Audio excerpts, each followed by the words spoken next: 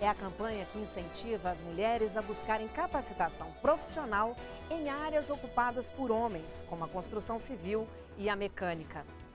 A presença feminina nestes setores já é realidade, mas a meta é aumentar. E os cursos oferecidos pelo Programa Nacional de Acesso Técnico e Emprego, o Pronatec, oferece aprendizado em áreas como torneiro mecânico e eletricista. A equipe da redação da NBR foi conhecer o sonho dessas mulheres e mostra agora nesta reportagem.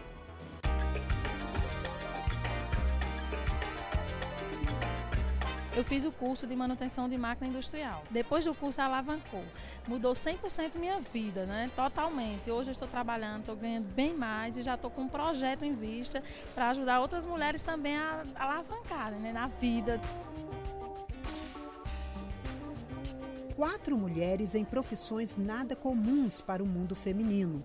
Ana Paula e Vandelice são especialistas em manutenção de máquinas industriais. Débora é mecânica e Maria Raquel, eletricista.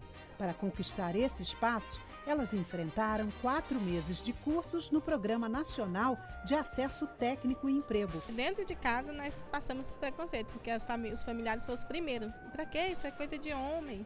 Nós não, nós vamos fazer. A mulher também é capaz. A minha renda mudou, a minha vida mudou, minha autoestima como mulher mudou. E eu espero que, como a gente hoje está aqui representando as mulheres, eu creio que vai mudar para muitas também. E as quatro vieram participar da cerimônia realizada no Palácio do Planalto de lançamento da campanha Mulheres que Inovam, para incentivar a participação feminina nos cursos do Pronatec Brasil Sem Miséria, em setores que estão em crescimento, como a construção civil, a indústria e a informática. O que nós queremos é que a, a inserção das mulheres no mercado de trabalho seja tão valorizada como a inserção masculina. Que a mão de obra feminina, que hoje eu não tenho dúvida de dizer que ela tem uma qualificação quase que 3% a mais do que a qualificação da mão de obra masculina, embora não com essa qualificação não estão todas inseridas no mercado de trabalho. A intenção do governo é ampliar o campo profissional feminino e, assim, melhorar os salários. E a capacitação pelo Pronatec, que oferece cursos de graça, é a grande oportunidade.